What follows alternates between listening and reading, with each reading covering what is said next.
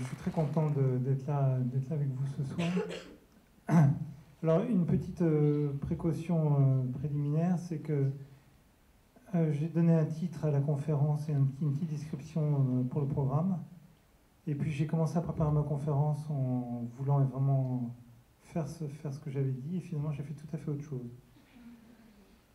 Mais je vais vous expliquer un petit peu pourquoi. Donc j'avais proposé que le titre de la conférence soit pour le cumul, le cumul des mandales. C'est une affiche euh, que, j'ai faite pour le cumul des mandales. C'est une affiche que j'ai faite à Aurillac en 2014. Je veux vous montrer ça un petit peu plus loin dans la conférence. Vous allez retrouver quelques-unes de ces affiches. Et le sous-titre, c'était les mésaventures d'un citoyen qui se déplace dans la ville. Je voulais vous montrer, euh, je voulais vous parler de ce que c'est qu'une affiche et des différentes définitions qu'on peut en donner, et montrer que dans l'espace urbain, on est entouré, baigné de, d'indications, de conseils, euh, quelquefois tout à fait autoritaires, quelquefois bienveillantes, euh, de publicité, d'affiches culturelles ou pas. Et que certains jours, quand je marche dans la ville, j'ai l'impression que je me prends une série de mandales. Et donc je voulais vous faire partager cet état d'esprit. les mandales peuvent être positives aussi, hein. ça peut être un choc devant une très belle image.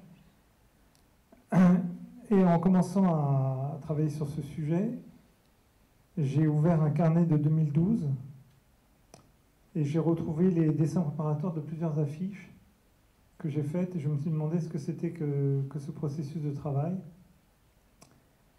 En redécouvrant ce carnet, quelquefois euh, un peu étonné de ce que j'ai trouvé. Donc euh, ce soir, je vais partager avec vous cet étonnement et, surtout vous montrer le processus de travail. Et c'est pour ça que j'ai pris cette affiche en premier lieu, Rater mieux, parce que c'est un clin d'œil à Samuel Beckett, ce grand écrivain, qui a écrit, si je ne me trompe pas, Rater, rater encore, rater mieux. Pour vous montrer que, comment dire, comme dit Churchill, le succès, ça consiste à aller d'échec en échec sans jamais perdre son, sa capacité d'enthousiasme. Enfin, n'exagérons pas. Alors, voilà, ce souvent, j'adore utiliser des carnets. Pourquoi? Parce que c'est, maniable, ça se glisse dans sac, parce que j'ai, enseigné pendant longtemps à Strasbourg sans jamais y habiter, parce qu'ensuite j'ai enseigné à Genève.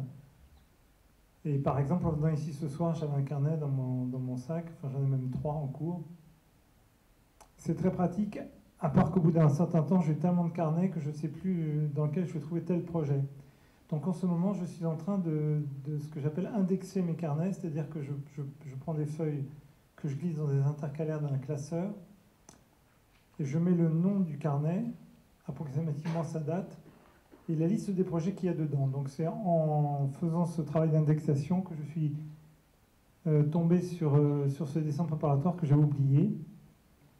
Donc pourquoi il y a marqué Aurillac 13 mars 2012 Parce que le 13 mars, j'ai pris l'avion pour aller à Aurillac, dans le Puy-de-Dôme, où se tient depuis quasiment plus de 25 ans le Festival international de théâtre de rue. Est-ce que certains ou certaines parmi vous sont allés déjà à Aurillac Oui? Oui, un peu de quoi, de quoi il s'agit?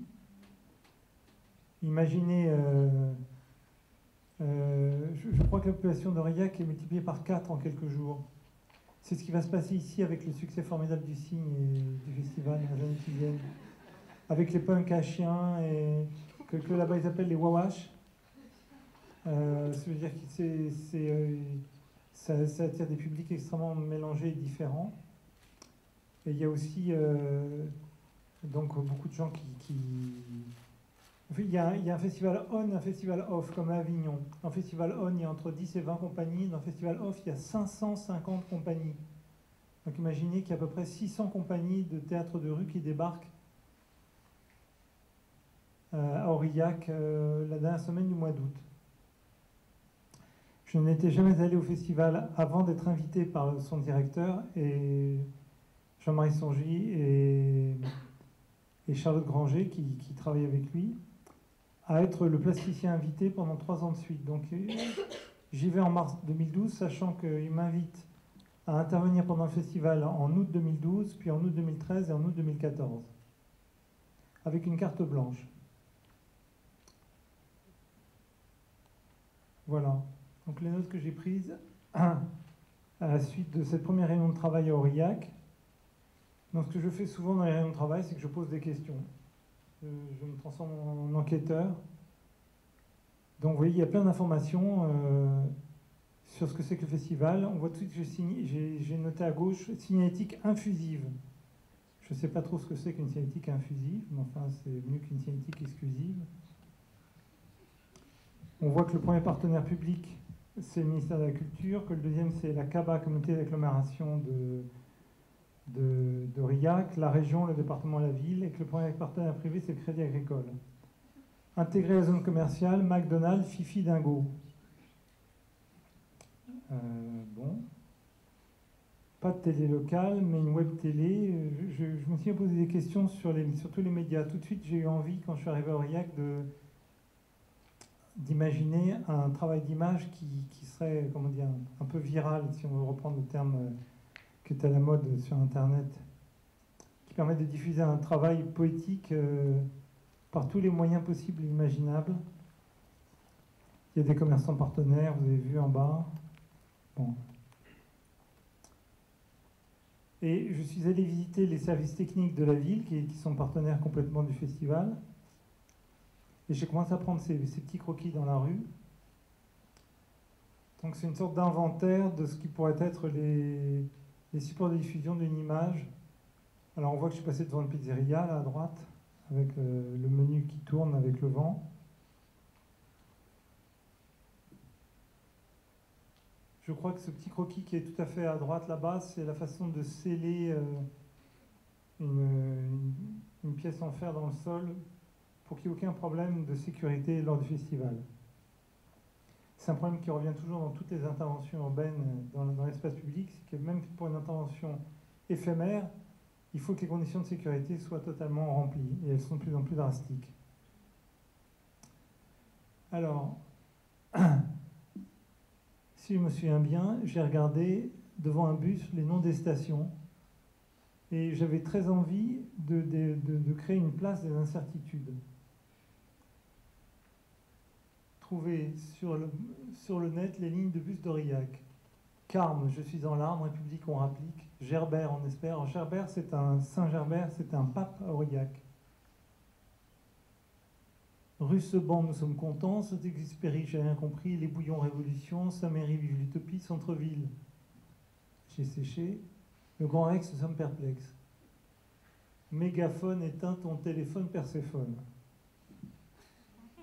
Bon, j'étais pas totalement enthousiaste, mais on voit que là, je continue à travailler. Je pense que c'était, je sais pas, j'étais au calme. Et je me mets à écrire, alors, marché découvert, des paysans, fracassureurs. Message femme, ça c'est des, noms de nouveaux métiers que j'avais trouvés euh, l'année précédente en travaillant à Villeneuve-sur-Lot. Cours de silence au conservatoire municipal, flûte des classes, des accordéons, Virevolte général, Scotland Yard. Alors là, si quelqu'un peut m'aider à comprendre ce qui est écrit là, je ne comprends pas trop pourquoi j'écris varié, variation, varan, varus. Le varus est une position, si je ne me trompe pas, de l'avant-bras. Warburg, qui est un historien de l'art, Yard. Pourquoi? Ah oui, c'est son hard, hard. Zarathustra. Ah oui, il y a art, merci, c'est ça. C'est pour ça qu'en haut à droite, j'ai fait une arborescence, arborescence. Ar, ar, ar, comme ar. Comme tarte, tartiflette, quartier, tartan. Je suis partant. Lard, lardon, lardé.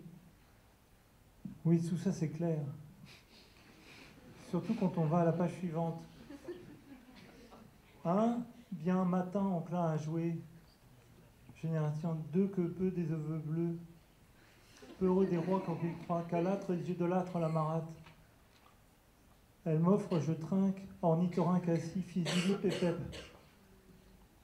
Arborescence, arboré, arbiré. Attendez, je crois que ça, c'est encore plus clair sur la page d'après. Vertuchon, Vertugadin, Versin, Cucufa, ça c'est évidemment un clin d'œil à. Vertre Prairie de mon Irlande natale, Vertébrale, vers... Versant Ubac. Vous connaissez l'Adré et l'Ubac Oui, il y a des montagnards. Alors ça, ça devient un peu plus difficile. Vercingétorix, je pense que c'est une fine allusion à. G, G, G, G. On voit que je cherche, mais j'ai un peu du mal. Hein, voilà. Je suis désolé pour vos. Je crois que c'est une fine allusion à Smoking, No Smoking, le film d'Alain René. regardez à gauche. Prends ton Ming dans ma Ming. Running sur la plaging. Ça, c'est une allusion à un film dont je n'arrive jamais à dire le titre d'une seule fois. C'est euh, In the Spotless Mind, le film de Gondry.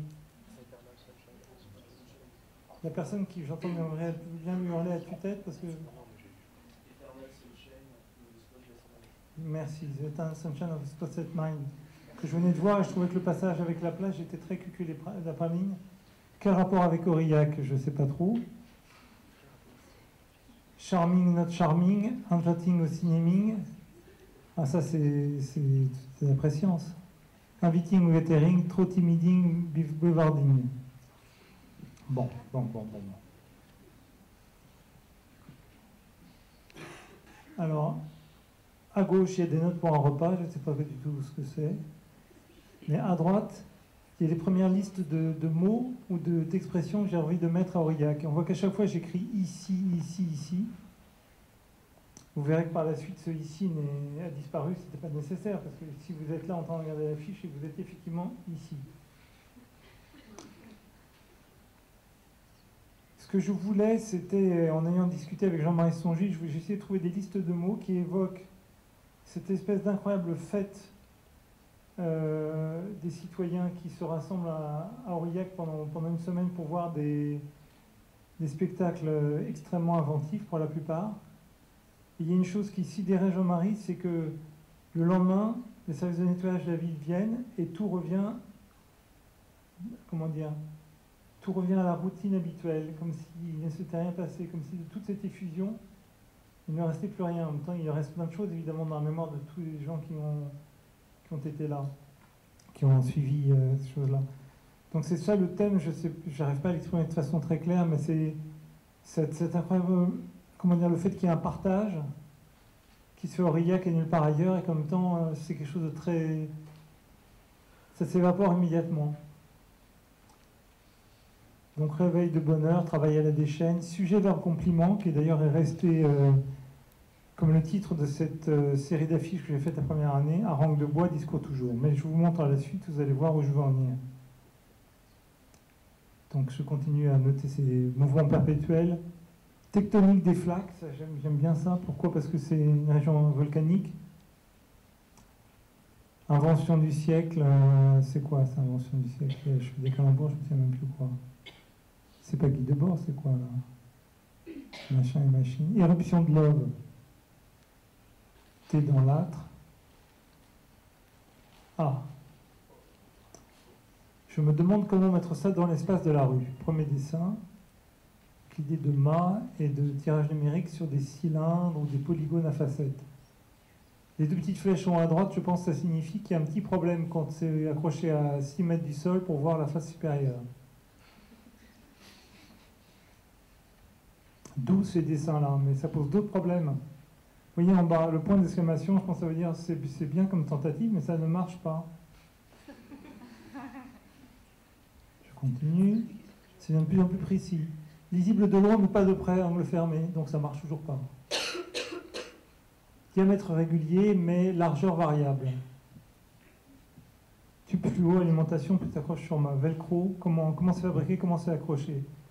Puis à droite, on voit que je commence à m'interroger de plus en plus sa fabrication. On voit le dessin d'un profilé, support semi-rigide cintré, type backlight,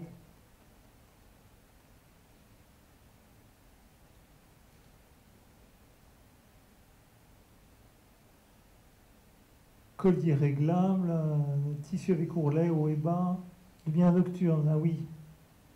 je commence à me poser la question de la police de caractère ici. Pour ça qu'il y a cet essai assez incroyable à droite ici, kiff kiff, poussi poussa, guili bon. Puis là, j'interroge visiblement un imprimeur spécialisé en tirage numérique. À gauche, est-ce que c'est des drafions ou des fapos Et j'arrive à ça. Alors, ce document qu'on va aller regarder sur, euh, sur c'est le document de travail.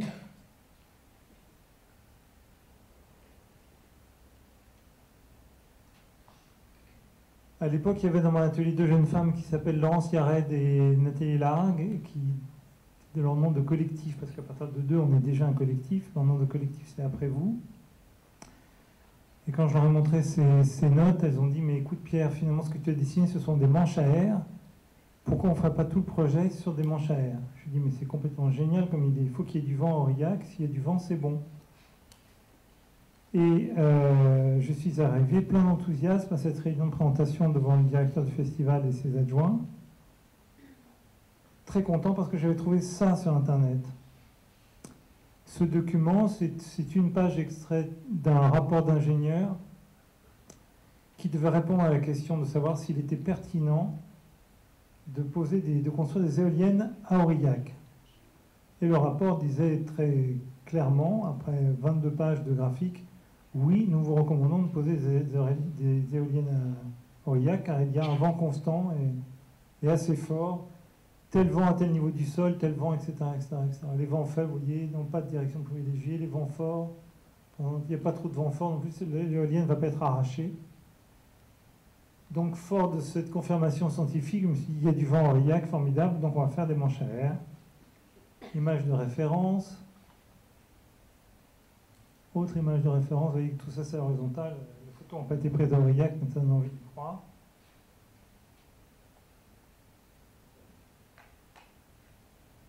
Ça, c'est Aurillac, 2 km avant d'entrer dans la ville. Donc, l'endroit on propose de mettre à toutes les entrées ces manches à air. Sur le camping, où il y a des centaines de personnes qui sont accueillies chaque année, cinéma très très haut. Devant le conseil général, où il y a une série de mâts. Et dans ce lycée qui est le lycée Gilles Ferry, qui est au centre d'Aurillac et qui est vraiment le point névralgique du festival de théâtre de rue. C'est là où tous les jours les festivaliers peuvent venir chercher le programme détaillé de toutes les pièces données par les 550 compagnies off.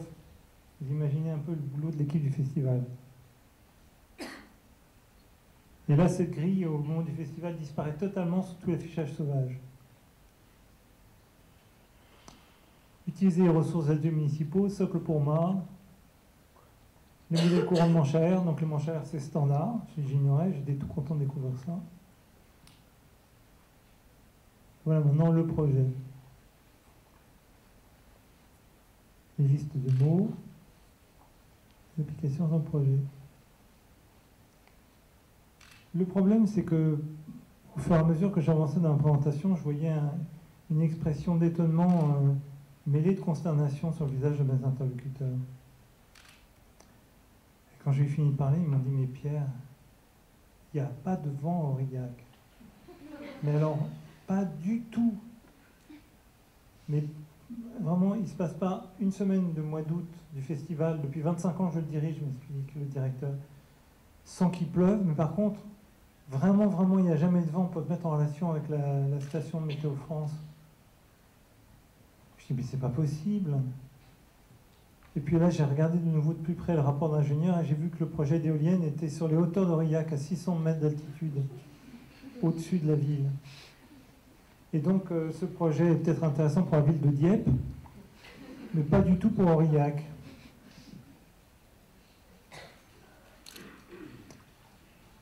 Vous comprenez maintenant le titre de la conférence.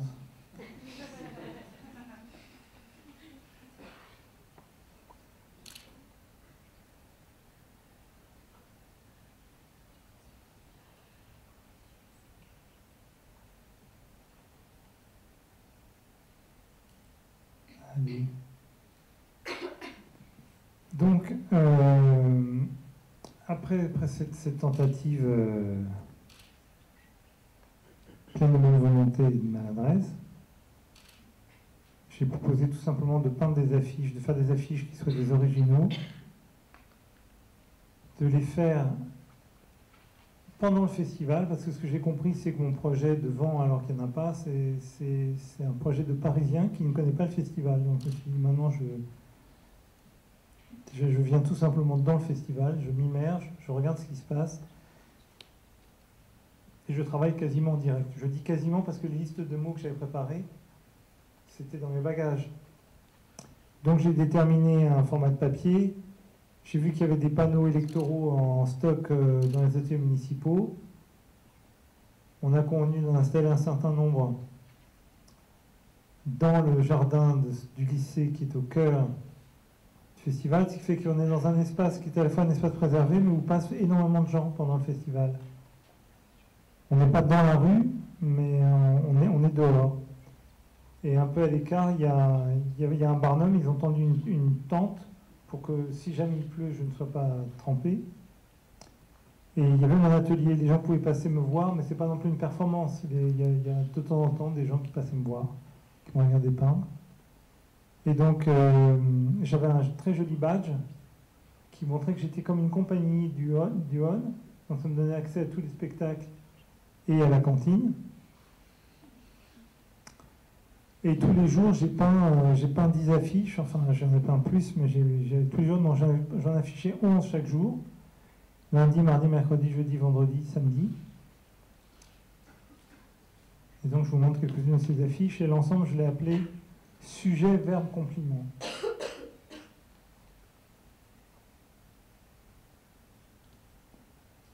Je ne pas si c'est la peine que je vous dise pourquoi j'ai appelé ça sujet, verbe, compliment. euh.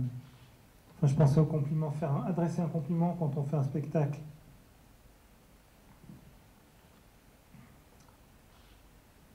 Une harangue. Euh, je ne sais pas si vous connaissez le terme, moi je l'ai appris à ce moment-là. Il y a un certain nombre de compagnies qui travaillent au chapeau. Moi je travaille du chapeau, mais eux ils travaillent au chapeau. C'est-à-dire qu'ils se font payer en, en faisant la manche dans un chapeau.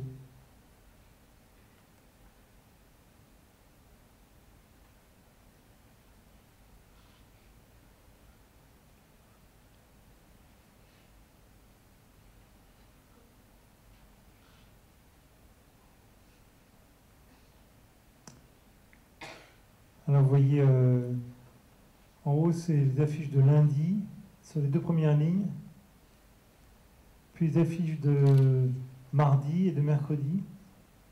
Donc on voit par exemple que l'affiche Worst Western, trademark, c'est un, fin clin d'œil à une- un, un spectacle d'une compagnie qui s'appelait Le Meilleur Western. Et moi j'avais trouvé ça vraiment navrant. Et par ailleurs, il y a un hôtel Best Western à côté à Aurillac, donc j'ai fait une synthèse des deux, ça s'appelait Worst Western, le pire des westerns, trademark. Mayonnaise en détresse, c'est parce qu'on dit quelquefois la mayonnaise ne prend pas. C'est- Je pense à un spectacle. Donc là, voilà ce qui se passe quand la mayonnaise ne prend pas, elle est en détresse.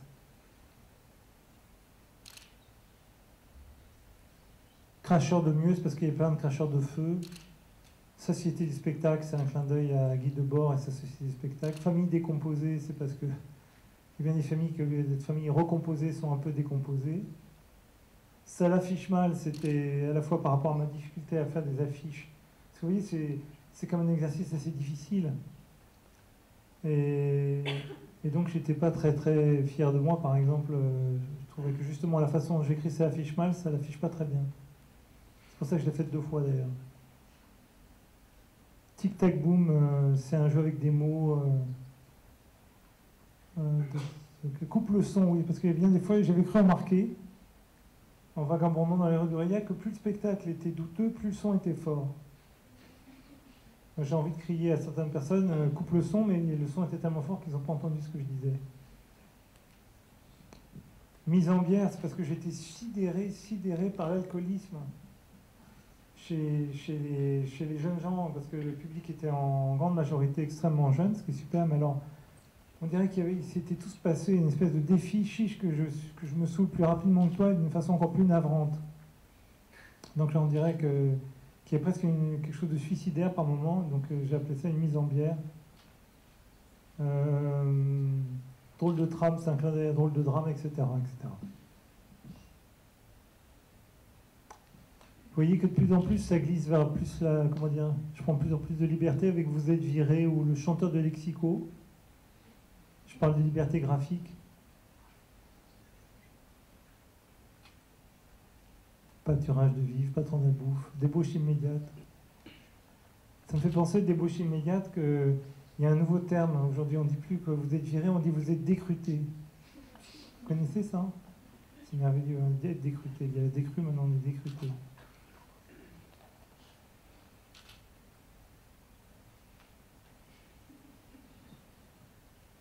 Je me reconnaissais bien dans cette affiche à ce moment-là, donc euh, effectivement, je me dis de vue en vue. Alors, donc c'était bien, mais j'avais envie pour la deuxième année en 2013 d'être d'être plus dans, dans la rue, quoi, et à plus grande échelle. Et en même temps, j'en avais un peu assez de mes calembours. Donc j'ai invité un ami artiste que je trouve formidable et que j'avais rencontré en 2012, qui s'appelle François Deck, à ce qu'on travaille ensemble à, tout un corpus de, de, locutions préparées à l'avance, tout en sachant qu'on se permettait d'improviser en fonction des, spectacles. Et puis j'ai dessiné, euh, dessiné cet objet, ce support, la réaction de mes interlocuteurs, c'était Pierre, c'est très très bien, seulement étant donné la foule que pourtant tu connais, parce que tu étais là l'année dernière, tu ne te rends pas compte, avec, les, avec l'assaut, la foule immense, c'est pas possible ce que tu montres. Il faudrait d'énormes contre-pieds, contre-poids, ou il faudrait que ce soit sur roulette et qu'on range tous les soirs. Bref, c'est incompatible avec la logistique du festival. C'est bien dommage parce que j'avais déjà calculé quand en peignant. D'abord, je pourrais peindre avec des énormes brosses. Un de mes rêves. Plus la brosse est grosse, plus ça me, ça, me plaît. Et, donc, vous voyez, j'ai commencé à imaginer que je pourrais faire quatre affiches, ou deux, ou quatre. Bon, c'est un, joli support d'affichage. Réponse, donc non, voilà, voilà, nous on te propose de, on te propose d'intervenir. Alors les fenêtres, j'ai répondu par un projet à cette contre-proposition c'était d'avoir une bande de, bois au niveau des fenêtres. Ah non, non, dans chaque, je me trompe.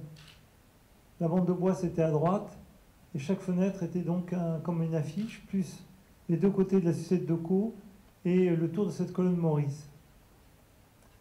Vous voyez que cette photo est prise en hiver.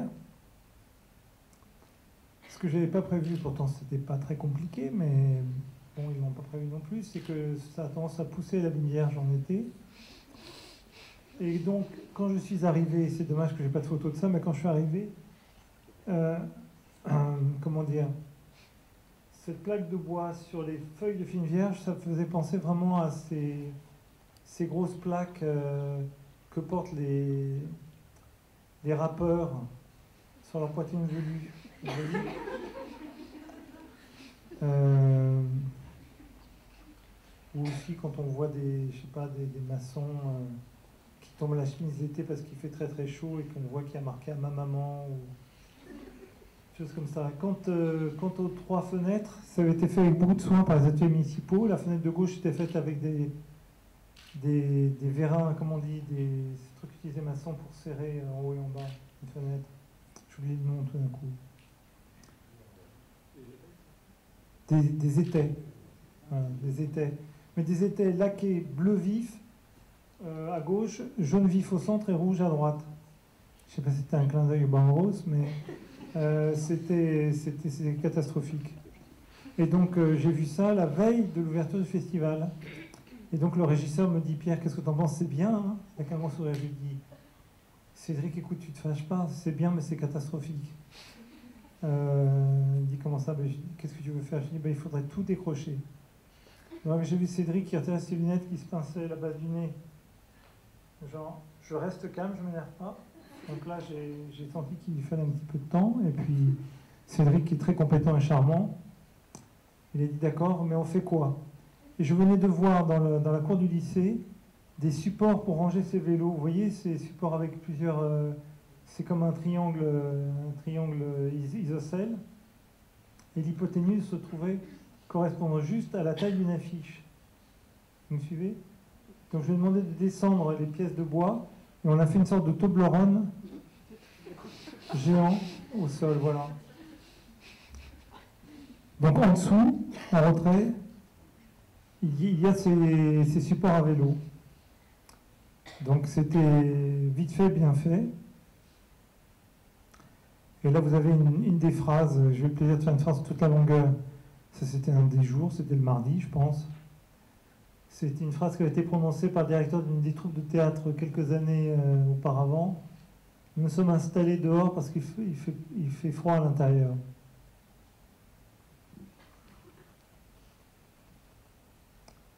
Éléments de langage, donc ça, ça vous rappelle des choses, j'imagine.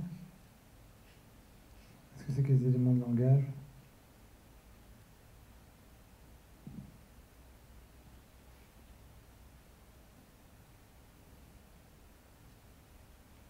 Alors c'est un colleur d'affiches de chez Doco qui, venait, euh, qui avait la clé du, support euh, de, la colonne Maurice, de la sucette Doco et de...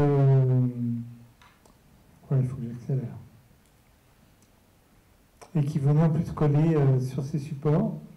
Une des craintes de Cédric, c'est qu'il y ait, c'est y ait comment dire, que les affiches abîmées par les festivaliers qui écrivent dessus. En fait, il y a une affiche qui a été taguée en tout et pour tout. C'est tout. Les gens ont totalement respecté le travail. Par contre, il y a eu ce que, j'espérais, c'est-à-dire qu'il y a eu beaucoup de, mouvements d'attroupement, de mouvements de, gens qui sont restés pour. Euh, surtout quand, quand l'affichiste venait pour recoller par-dessus. Pour, pour voir passer le travail des colleurs. Je crois vraiment que le, que le public est sensible quand l'image est faite sous ses yeux et qu'elle est faite lentement. On est tellement habitué à être dans un flux d'images extrêmement rapide. Je dirais plutôt un flux visuel. Quand un coup il y a des images qui sont posées lentement, le public généralement est très attentif à ce changement de rythme. Je ne vous les montre pas toutes hein, parce que j'en ai fait énormément, mais je vous en montre quelques-unes. Ah oui, cette année-là, j'ai vraiment envie de, régler leur compte aux experts et aux expertes qu'on voit en permanence, en particulier sur les plateaux de télévision. Expert qui est aux ossures-esthésie. C'est clin d'œil à une chanson de Reggiani. Je ne souviens plus de qui le texte. Pardon C'est Prévert Dessus restez Et nous, nous resterons sur la terre qui est parfois bien jolie. Merci Vincent.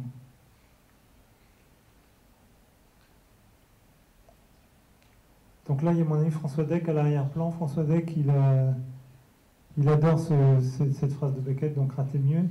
Il a une autre phrase que j'aime beaucoup, il dit il faut fédérer nos incompétences. Donc là, quand on voit il est en pleine action, il est en train de fédérer son incompétence avec la mienne. En fait, il est super concentré.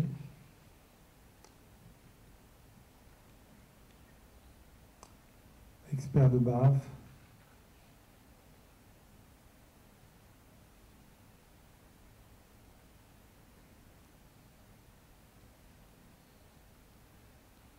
Ça vous intéresse, je vous expliquerai pourquoi j'ai l'impression de faire de la peinture en lettres et non pas de la calligraphie.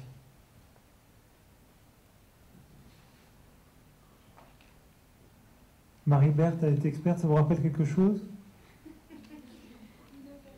Ouais, oh là là, il y a des gens très très érudits là. C'est une chanson française.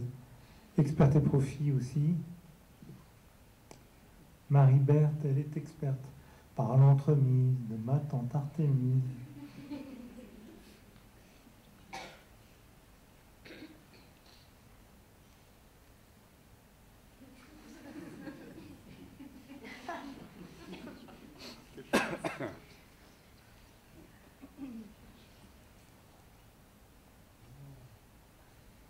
C'est Aurillac 2014.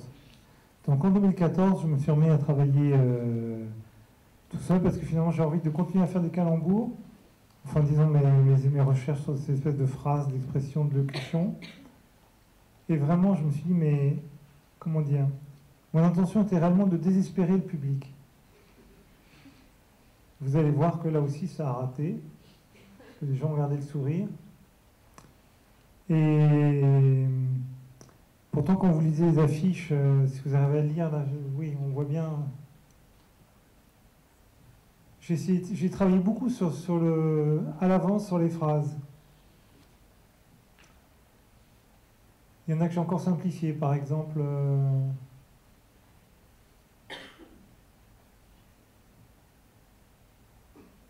Morale des Français, on fait l'échange avec le Congo.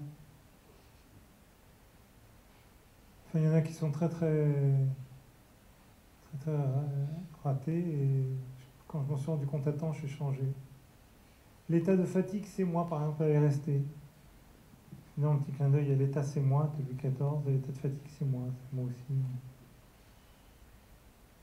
Alors voilà ce que ça donne. Donc là, euh, en 2014, euh, le, festival a réussi à obtenir euh, les phases de 10 sucettes de coups qui traversent la rue des Carmes et qui donc par là même traversent la ville d'Aurillac, le festival en, plein cœur. C'est rue des Carmes que la plupart des choses se passent, même si c'est aussi dans tous les faubourgs. Mais disons que c'est vraiment la, la colonne vertébrale du festival. Donc je vous montre quelques-unes de ces affiches 2014. Alors, affiche de 120 par 180, c'est-à-dire à peu près une affiche dans laquelle, euh, enfin à l'échelle humaine, quoi.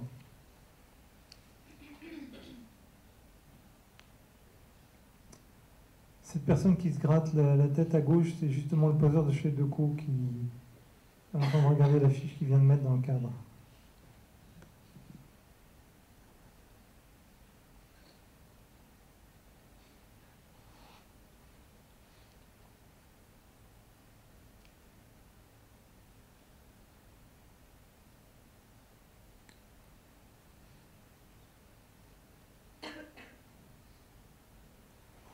Pas fâché avec l'orthographe, mais c'est une proposition de réforme de l'orthographe que j'applique dans certaines affiches. Ça s'appelle le facile et je vous en parlerai si ça vous intéresse. Après le canton, j'ai le quiche qui sont deux recherches que j'ai faites euh, respectivement en 1989 et en 2005. J'entends des voix de garage, évidemment c'est quand je me prends pour Jeanne d'Arc.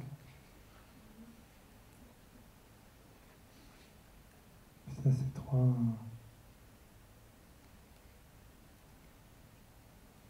C'est bizarre, il y a des fois où mon ordinateur ne veut pas montrer l'image suivante. Ah bah c'est pour le cumul des mandales justement. Celle-ci, il y a un petit malin ou une petite maligne qui l'a volé dans, de nuit dans, qui a trouvé la clé de, la sucette de co et qui a volé l'affiche. Celle que vous voyez là. Alors, euh, ça va jusque-là? Oui Donc, euh, parce qu'il faut qu'on garde du temps pour pouvoir euh, discuter. Alors, je retourne au carnet de tout à l'heure et je suis tombé sur, sur cette phrase Ça va pas du tout. Vincent, tu te rappelles de, des lycées donc Vincent et, moi, nous avons été invités euh, par les trois commissaires d'une exposition à la Bibliothèque de documentation des Invalides, BDIC, Bibliothèque de d'information et, d'histoire contemporaine, merci, euh, des Invalides, qui, qui, était au bâtiment des Invalides, euh, dans les Invalides, j'y arriverai. donc les trois commissaires, c'était Béatrice Frankel, Magali Guaran et c'est dame qui est en là. Valérie Tanière qui dirige le BDIC. Elles ont invité Vincent et moi-même à montrer notre travail dans la partie contemporaine d'une exposition sur l'affiche politique. Et en outre, elles m'ont passé commande de faire l'affiche de cette exposition d'affiches. Donc, euh, quelquefois, il m'arrive de, noter dans des carnets les idées que je trouve vraiment les plus stupides, pour que, surtout que ça soit fait, que j'en sois débarrassé. Donc, euh, voilà, je pense que c'est le cas ici. Et à l'époque, le, nom de l'exposition, c'était... Euh,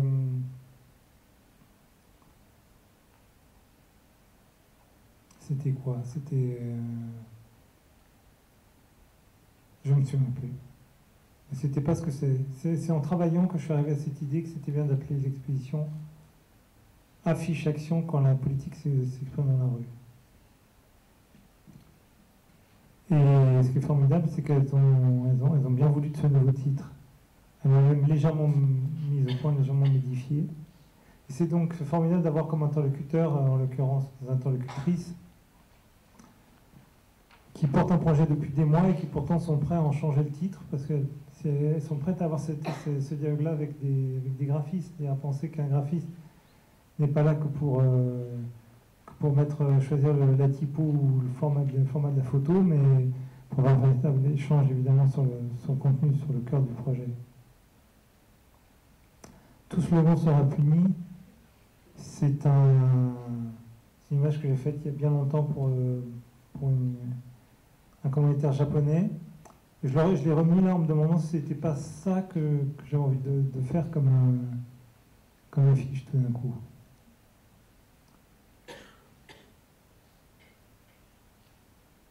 Une colère parole affiche action. Je dessine de différentes façons.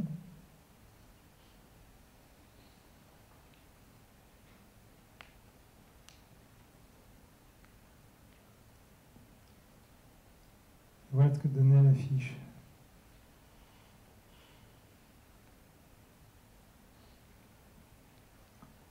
Alors attendez, euh, oui, ça, excusez-moi. Ça, c'était la proposition avec un bandeau qui devait se retirer. La proposition de la couverture d'un catalogue chez Gallimard.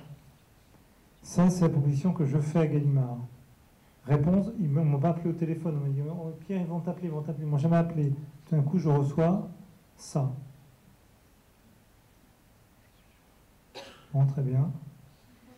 Et finalement, ils ont, il y a un responsable chez Gallimard qui n'a voulu ni l'un ni l'autre. Deux jours avant l'impression, et pour épargner vos yeux, j'ai pas mis la couverture qu'ils ont imprimée, mais c'est quelque chose de très très très très regrettable. C'est l'adaptation de cette affiche dans un autre format, en kakemono.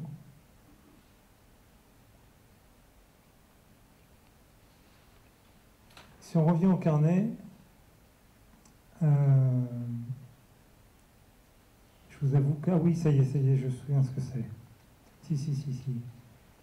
C'était une commande d'ailleurs pour le festival d'Aurillac, si on peut dire.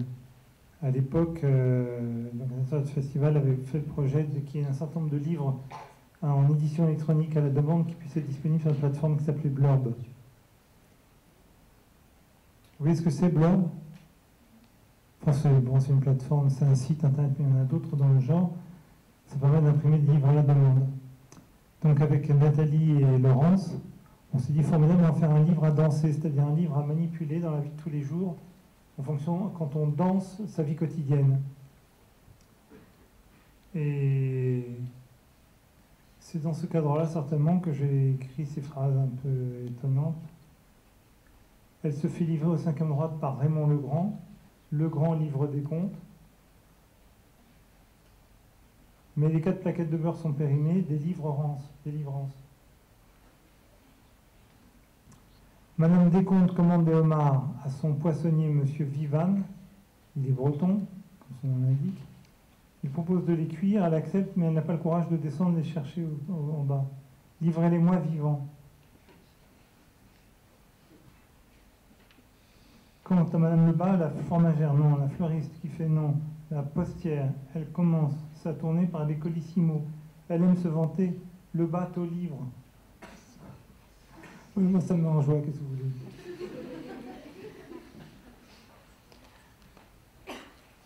Voici les, pour, terminer, euh, des croquis pour une affiche faite avec un, un ami que j'adore qui s'appelle David Poulard, une affiche faite à quatre mains. Je n'ai pas ces croquis, mais j'ai retrouvé donc les miens, toujours dans ce carnet. L'exposition, nous avons choisi de l'appeler Dedans les mots. Une exposition dont on avait. On exposé à la Halle Roublot à la demande de Philippe Chat, alors Philippe Chat, à Fontenay-sous-Bois. Et voilà les premières recherches pour, euh, une fois qu'on était d'accord pour appeler ça Dedans les mots, pour dire que c'était ça qui avait de commun à tous les artistes qu'on avait envie d'inviter. Exposition collective dans laquelle il y avait, après vous, Julie Morel, Fanette Mélier, David et moi. Euh, J'espère que vous personne, je crois que c'est tout le monde.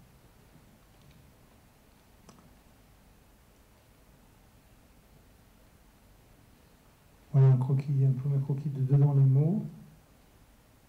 Voilà. Dedans les mots. J'essaie de trouver un rythme euh, correct.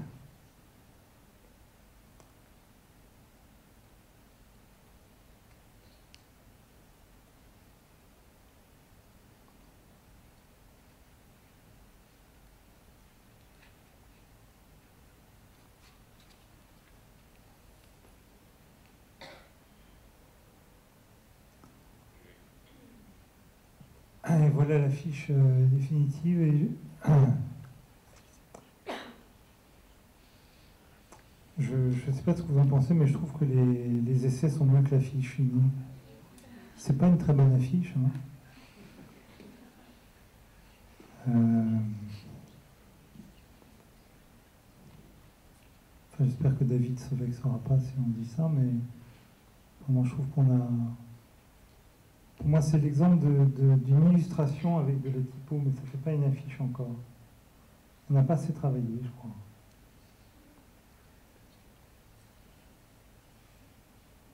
Voilà. Pardon. Reste là. Voilà. Bah, écoutez, j'ai terminé.